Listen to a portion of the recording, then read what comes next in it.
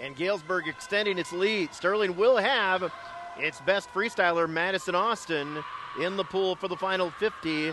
And we'll see if Sterling can mount a, uh, mount a rally here. The Knights of Peyton could close the gap a little bit. Chloe Putnam will be in the pool for Galesburg. She is in, and Madison Austin has some work to do to chase down the Galesburg swimmer. And I don't know if Madison has enough pool here. We're going to find out. I might be wrong. Madison Austin at the turn. Madison Austin is on fire. She has got the lead. An amazing performance here as Madison Austin rallies the Golden Warriors to victory in the 200 freestyle relay.